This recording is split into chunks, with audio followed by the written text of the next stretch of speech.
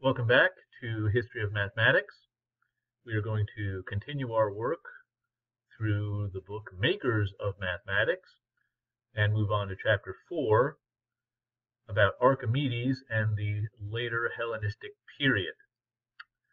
Now, Archimedes is generally considered the most important mathematician of antiquity, and several notable mathematical achievements include finding the formula for the surface area of a sphere, creating a procedure that would find the area of spiral shapes, finding volumes of various solids, and working with something called the method, in particular something sometimes called the method of exhaustion. And I would also note that Archimedes made several contributions to physics and engineering as well as mathematics. But the thing I want to discuss in this video is Archimedes' quadrature of the parabola.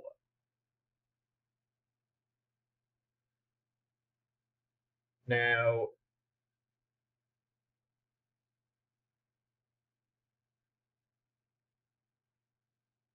quadrature is just a fancy name for finding the area. And he's not really talking about the area of a parabola, because of course we know a parabola is an infinite figure. So let's just imagine that drawing I have right there is a parabola.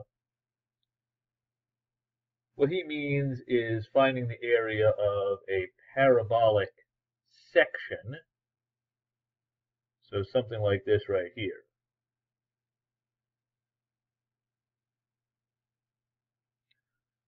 So a parabolic section is the area bounded by a parabola on one side and a line on the other side. Now this is a very interesting use of Archimedes' method of exhaustion. So let me just pull up a figure here from the internet and show you how Archimedes would deal with this problem. Okay, so this is a figure I just kind of pulled off Wikipedia. Oops, it's way over there now.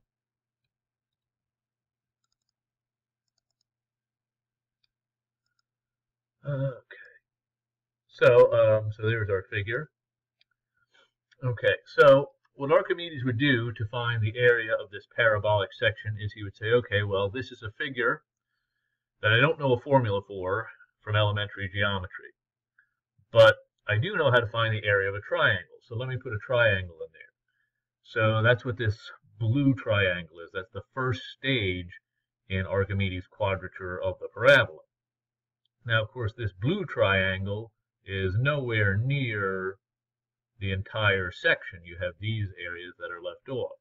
Okay, so what Archimedes does is he says, all right, well, this is just an estimate, and we can get a better estimate by adding these extra triangles, these two new triangles. So the first stage is adding one triangle, and then the second stage is adding triangles on top of that. Of course, that's still not quite it. So the third stage, he adds these little yellow triangles here. And then the fourth stage would be adding the red triangles. Now, of course, at each stage, the total area of the triangles is just going to be an approximation of the area of the parabolic segment, but you will get a better approximation at each stage. So, let's examine what's going on here. So let me just uh, minimize that and go back to the camera. Okay, so I do want to talk about how many triangles we would have at each stage. Okay, so the first stage, there would be one triangle. Second stage, there would be two triangles. The third stage, there would be four. So each time we do this, we're going to double the number of triangles that we're adding. So next stage after that, the fourth stage, you would have eight triangles. Now Archimedes not only did he add in more triangles each time, he was careful to preserve a relationship between the areas of the triangles. So let me pull up another little figure from our Wikipedia article there. Okay, so that's the parabolic section that we discussed just a second ago. And this is a, a relationship between the area of the triangles in the first and second stages. So this blue one is the triangle from the first stage. There's the height of the triangle, and there's the base. And then uh, we've got this over here. Okay, so we can probably get rid of that right now. So the original area would be 1 half the base times the height, 1 half height times width.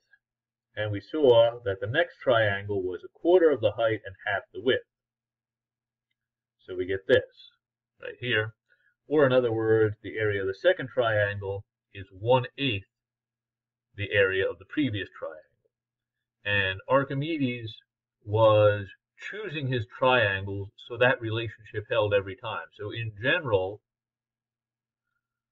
the area of a triangle on the nth stage is going to be 1 eighth the area of the triangle that you had on the previous stage. So if you trace that back, you can go all the way back to the original triangle. So you can write the area of any of the triangles in terms of the area of the first triangle. You just need to add the correct number of factors of 1 eighth. So let's look at what the total area would be.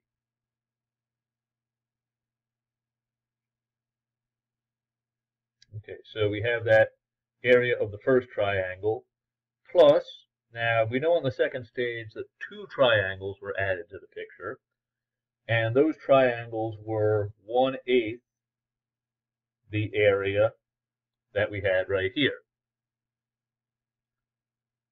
Now, start with one triangle. Next stage we add two triangles, then we would add four triangles.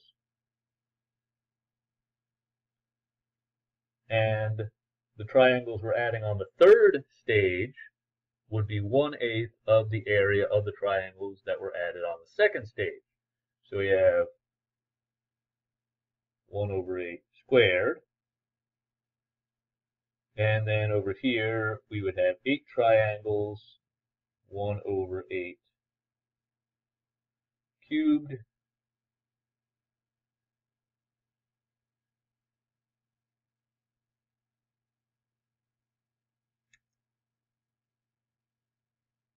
And then we keep on going ad infinitum.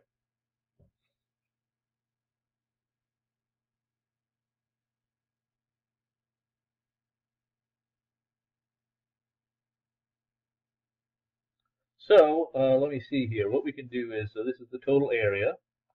Uh, I notice every term is divisible by a t. Got a factor of t there, so let's factor that out.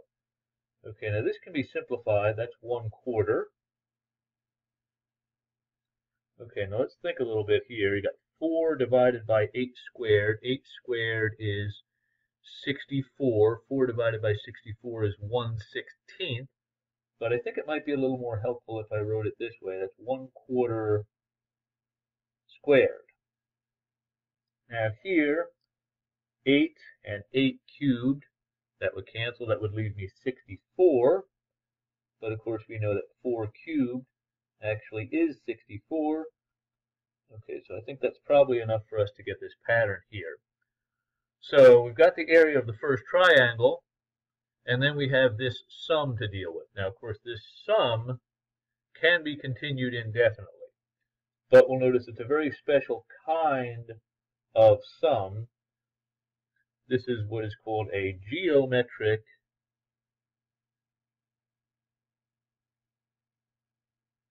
series. Okay, a geometric series is one of the few sums where we can actually find the value that it converges to. And I'm sure you remember from your calculus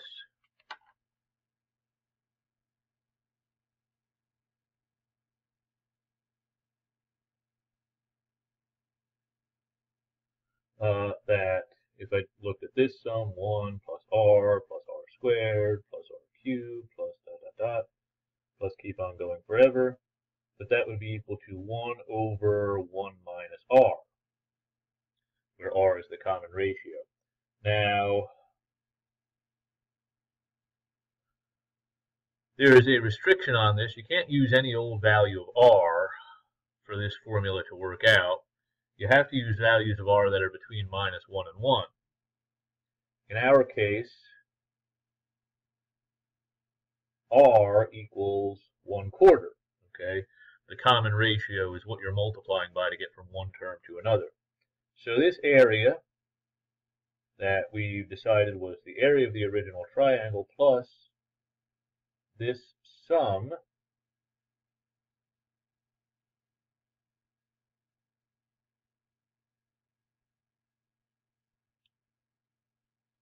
Well, since our common ratio is 1 fourth, we'd have 1 over 1 minus 1 fourth. Okay, let's work on simplifying this complex fraction here. I got a fraction with a fraction inside it. I'm going to hit everything with a 4. So hit the top with a 4, it becomes a 4. This becomes a 4. You hit 1 fourth with a 4, it becomes a 1. Okay, so I multiply by the same thing, top and bottom. So a very quick way to simplify a complex fraction. So the area of the parabolic section is 4 thirds times the area of the original triangle that we started this process with. Okay, so Archimedes was able to relate the area of that figure to the area of a triangle using this idea of a geometric series. So you can see here that Archimedes was actually pretty close to coming up with integral calculus right here. Uh, we can't quite credit him with creating integral calculus because he didn't quite generalize this process enough, but you got the basics. Okay, what you do is you're looking for an area, and it's an area that you cannot compute directly. So you come up with an approximation, and then you have a procedure for refining that approximation and getting a better approximation. And then you do what is essentially a limiting process. So, a very important result here from Archimedes about finding the area of a parabola through what people might call the method of exhaustion.